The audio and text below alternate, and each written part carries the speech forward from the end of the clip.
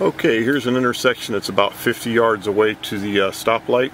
And what we're going to do is we're going to go ahead and uh, I'm just going to kind of scan back and forth a little bit. And then we'll have the uh, do the same thing viewing with the uh, thermal viewer. Okay, uh, we're outside here and what we're doing is uh, this is just an intersection. It's about 50 yards away. You can't really see the stoplight there but I'm hoping we'll get there we go there goes a vehicle going by. Uh, this is just giving you an idea of what you can see with this. Now I'll go ahead and, I'm going to go ahead and uh, mess with the screen brightness a little bit kind of step it through.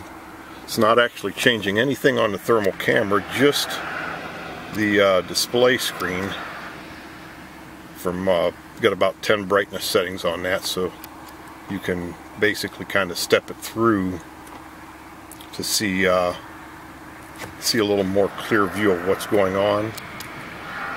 That seems about right for this particular scenario.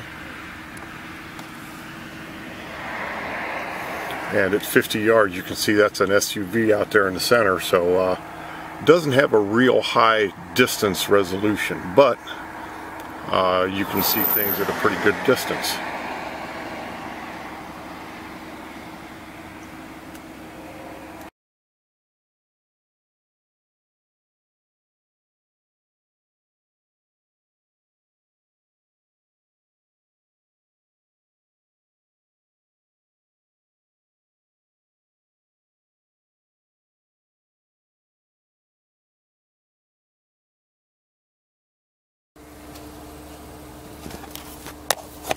Okay, here we are, and we're looking at a couple of deer in the field, about 100 yards away or so, I think.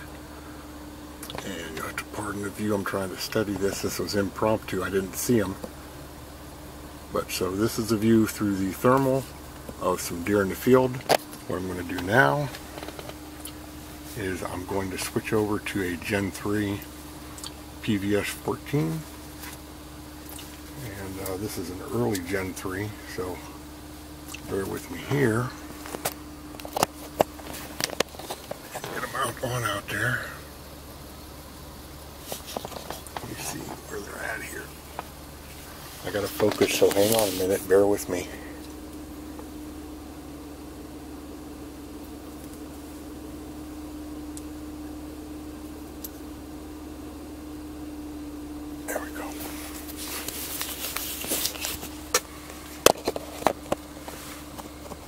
Okay, and here we are looking at the same view through the PVS 14. Uh, both of these have about one-to-one -one unity, so there you go. There, there. If you were looking at with a Gen 3 uh, night vision, and there's stadium lights way off in the distance, but they really brighten up this field, so night vision is able to see them pretty clearly.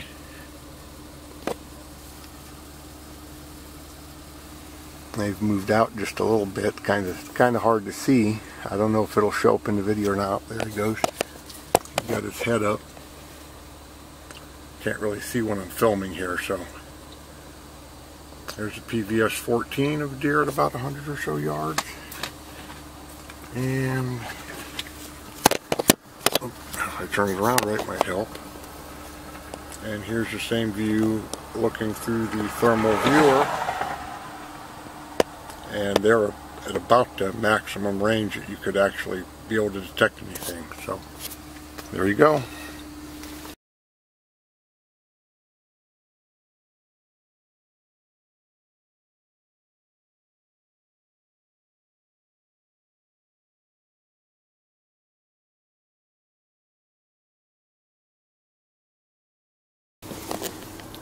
Okay, so there's uh, I don't know what the hell it is running across the field, a raccoon or something.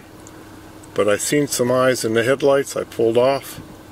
And there we have an animal at about 30 yards, small animal. So what I'm going to do is I'm going to go from this thermal and I'm going to see if I can see him on night vision.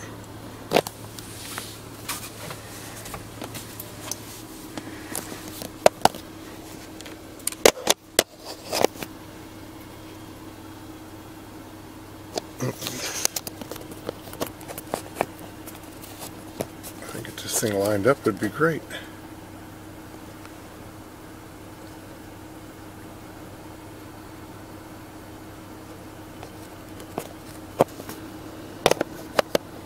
You can see the see him out in the field, dead ahead.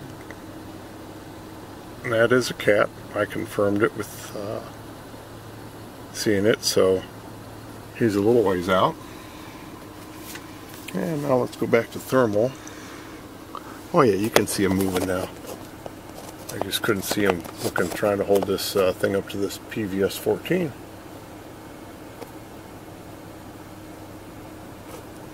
So there's a difference. Now this is night vision and there is some ambient light from the headlights out there. So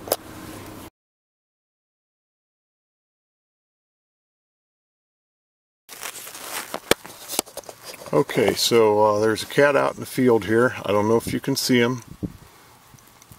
He's uh, looks like he's about 30, 40 yards out or so.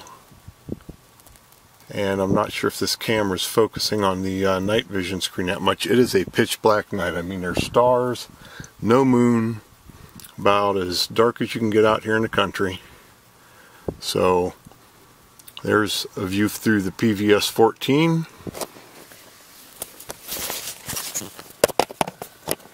Okay, and here's a view through the thermal again, and remember this is a cat we're talking about. And I believe he's just too far out for me to see anymore.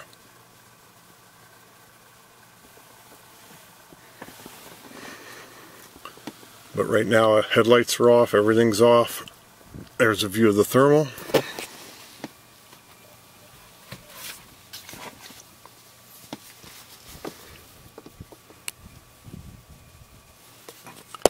And there's a view through the PVS 14 and I don't know if you like I said I don't know if you can see it. I can barely see him out there and he's probably about 40 50 60 yards out. Who knows?